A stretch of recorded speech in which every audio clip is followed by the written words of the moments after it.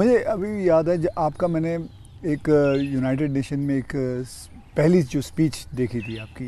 I think 2014 में दी थी मैं प्रधानमंत्री बना और सितंबर में गया था। सितंबर में गए थे। तो आपने जब आपने इतने सारे स्पीचेस दिए हैं हिंदुस्तान में तो वो आपका पहला स्पीच था जो वर्ल्ड वाइड पूरी दुनिया। तो वही यू नर्वस क्या मेरे प्रधानमंत्री नरेंद्र मोदी जी नर्वस थे उस दिन? मेरा प्रॉब्लम ओवर कॉन्फिडेंस का है। अच्छा उल्टा था। उल्टा था। और हुआ क्या कि मैंने मन में सोचा था कि मेरा फ्रेमवर्क रहेगा बोलने का। जब जहाज़ में यहाँ से जा रहा था हमारे अफसरों ने मुझे ब्रीफिंग भी किया था। जब मैं अमेरिका पहुँचा तो हमारी फॉरेन मिनिस्टर सुषमा जी उनकी मीटिंगें ज़्यादा होती थी तो उनको पहले जाना पड़ता है। हम्म। तो पहले गई हुई थी। तो पहुँचने के बाद ही मेरा कोई दूसरे दिन कार्यक्रम था। तो मेरा नेचर है मैं होटल से उतरता हूँ तो पहले मीटिंग भी कर लेता हूँ। तो ब्रीफिंग के लिए सब बैठे थे। तो सुषमा जी ने पूछा कि साहब आपका भाषण वगैरह। मैंने कहा कर लेंगे क्या है? तो वो अड़ गई। हम्म। उन्होंने बड़ा आग्रह नहीं कि बोले साहब ऐसा नहीं चल सकता। अच्छा सब लोग बोल नहीं पाते थे मुझसे। हम्म। किसी ने मुझे कहा भी नहीं था। बोले यहाँ एक्सटेम्पो भाषण नहीं करना चाहिए बोले। हम्म। लिखित स्पीच होना चाहिए।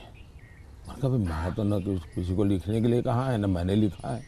मैं तो हर जगह वैसे ही करता हूँ। खैर काफ़ी दिन हमारी आधा घंटा तक बहस होती रही।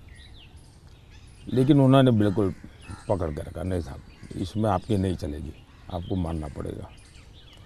तो मैंने कहा क्या करेंगे ये तो मैंने कहा मैं अपना बता देता हूँ मुझे क्या बोलना है। तो मैंने वहीं पर उस दिन मैंने कहा इसके आधार पर आप बना दीजिए। फिर वो स्पीच तैयार हुई। हम्म, हम्म। अब मुझे स्पीच प्रॉब्लम नहीं था पढ़ना ही प्रॉब्लम था। मतलब पढ़ना यानी कि यानी पढ़ कर के बोलना वो मैंने कभी आपको देखा मुझे नहीं बहुत दिक्कत होती है जी बहुत दिक्कत होती है। मेरे मेरा मेरा थॉट प्रोसेस इतना तेज चलता है तो मेरा वो पहला भाषण जो है हाँ। वो पढ़ कर के मैं किया हुआ हूँ। यानी एक्चुअली पढ़ रहा हूँ मैं आपने देखा होगा मेरे हाथ में हाँ। कागज़ है।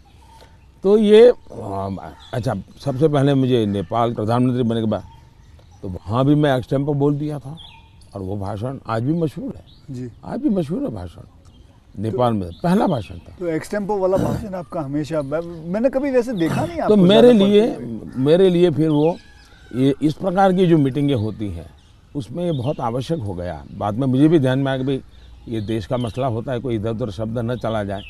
तो फिर खैर मैंने मुझे उस डिसिप्लिन को फॉलो करना चाहिए हम्म। लेकिन मेरे पहले भाषण का मेरा अनुभव ये है